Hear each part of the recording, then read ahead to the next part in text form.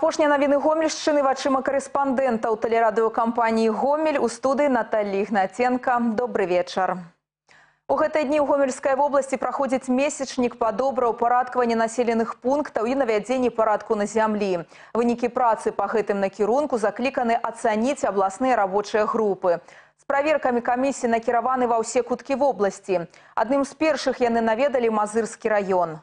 Яшчэ ў пачатку года гэта воінскае пахаванне ў мазыры толькі ўмоўна называлася вечным агнём. Сюды падаваўся дарагі звадкаваны газы, таму агонь запальвалі толькі па святах. На сёння да кургана славы падведзены прыродны газ, што для гарадскога бюджэта абыходзіцца ў два разы танней. Цяпер ачаг тут ніколі не згасае. Пераканалася ў гэтым і рабочая група аблвыканкама. На этом не останавливаюсь. Есть задумки еще и на будущий год, поэтому будем там тоже продолжать работать. За счет средств районного субботника приобрели несколько аттракционов.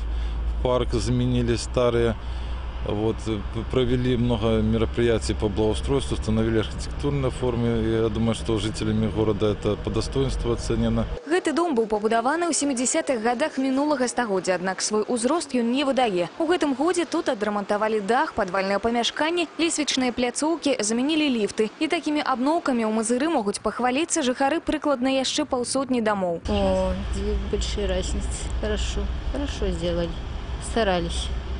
Что доделать, где что крыльцо сделать, где очень хорошо. Очень довольны. Балконы уже утеплили, мне примерно утеплили. Сёння ў мазырскім раёне 92 населеныя пункты. У гэтым годзе ўсе яны былі абсталяваны кантэйнернымі пляцоўкамі. Арганізаваны цэнтралізаваны вывоз камунальных адходаў. Іх дастаўляюць на гэтую станцыю. Пасля падарожжа па лініі сартавання нядаўнія адходы ўжо ў выглядзе сыравіны адпраўляюцца на перапрацоўку. Парадку і прыгажосці рэгіёну дадалі і малыя архітэктурныя формы. У гэтым годзе іх устаноўлена прыкладна паўтысячы. Сярод жа маштабных праектаў будаўніцтва дзіцячага саду на 300 месцаў, добраўпарадкаванне набярэжнай і рэканструкцыя помніка архітэктуры мінулага стагоддзя будынка драмтэатра. Акрамя таго, до конца года будзе ўведзена ў эксплуатацыю вучылішча Олимпийского резерву. Мы видим, что э, большое внимание уделяется как э, благоустройству, видите, города, так э, содержанию санитарному э, самих населенных пунктов, как Мозыри, так и районов.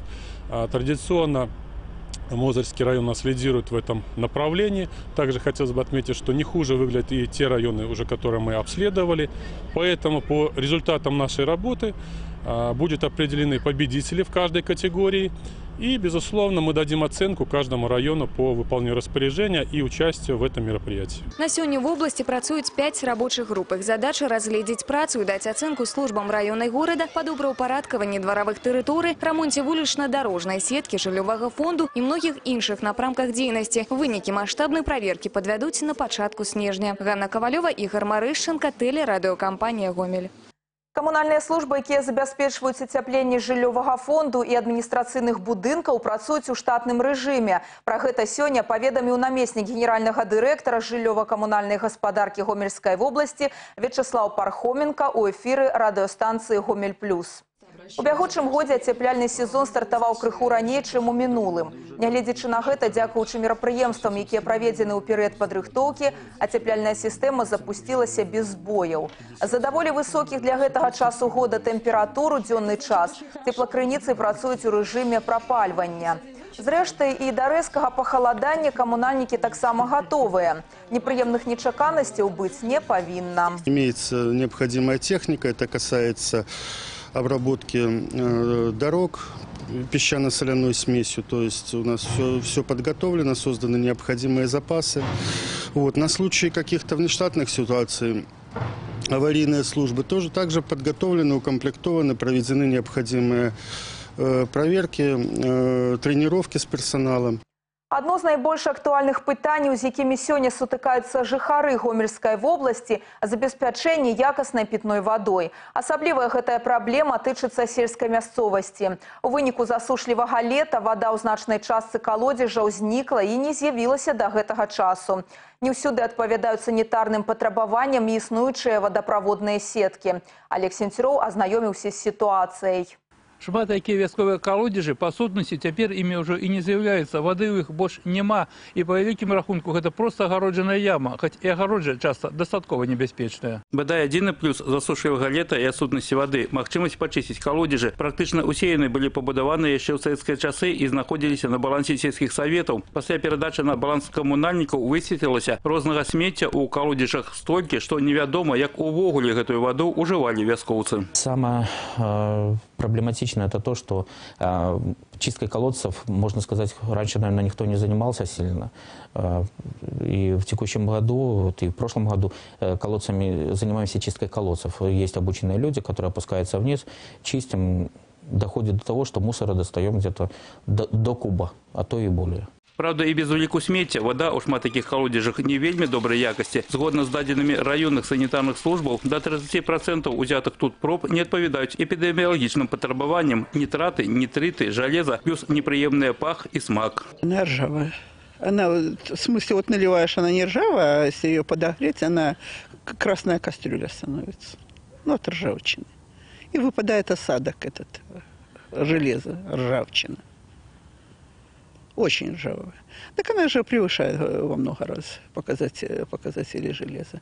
Это официально даже нам был ответ. Нельга сказаць, што для выпраўлення становішча нічога не прадпрымаецца. Прычым для таго, каб гарантаваць якасць, упор робіцца на будаўніцтва новых водаправодных сетак. Праўда, справа гэта вельмі не танная. Па словах камунальнікаў, замена аднаго кіламетра водаправода каштуе каля 400 мільёнаў рублёў. З праектна-сметнай дакументацыі удвая больш. Зразумела, што сродкаў, каб адразу замяніць усе сеткі, у бюджэце няма, але адпаведная работа ўсё ж таки вядзецца.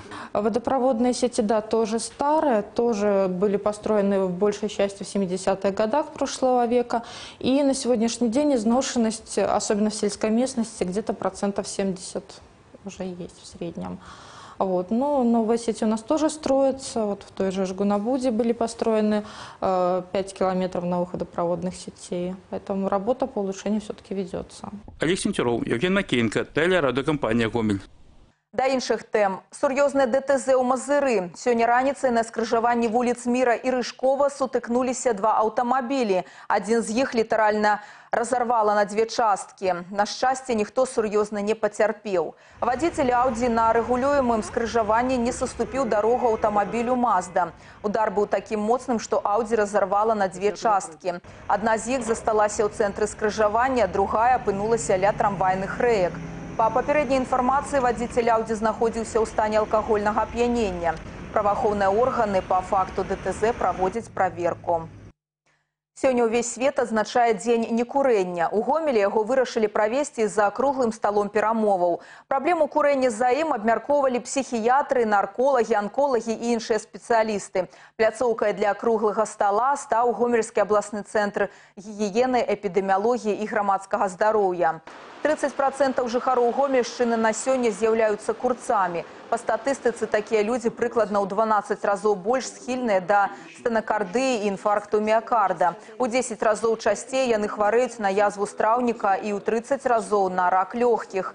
Дарэчы, прывесці да такога букету захворванняў можа і пасіўнае курэнне.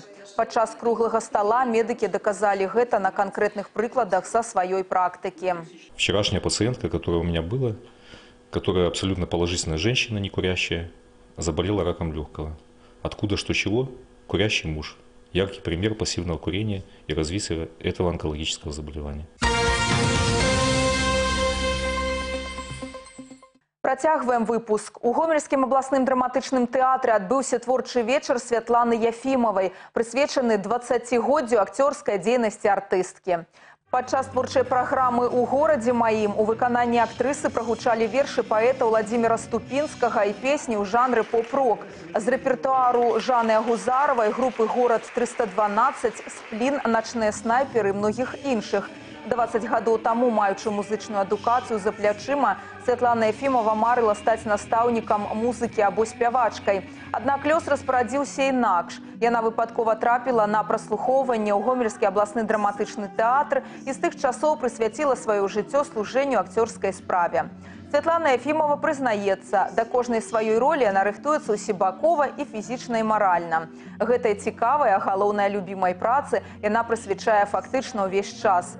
Між тым сям'я не крыўдзіцца на артыстку. Родныя і блізкія разумеюць, тэатр для Святланы не толькі праца, а гэта нешта большае, без чаго яна ўжо не ўяўляе свайго жыцця. Мое такое мнение, как бы и меня этому учили с самого начала, что театр это 3Т. Терпение, труд и потом уже талант.